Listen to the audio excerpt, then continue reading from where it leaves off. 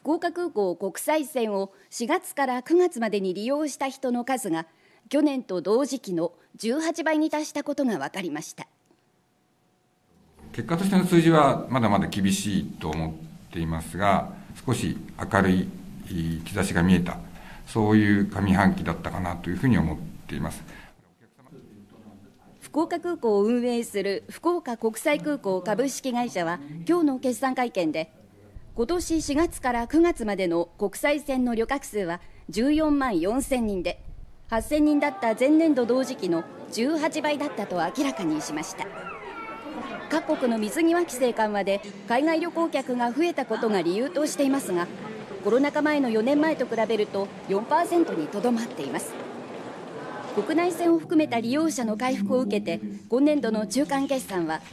前年度より営業収益が増えて損失は縮小しましたが営業利益は赤字が続いています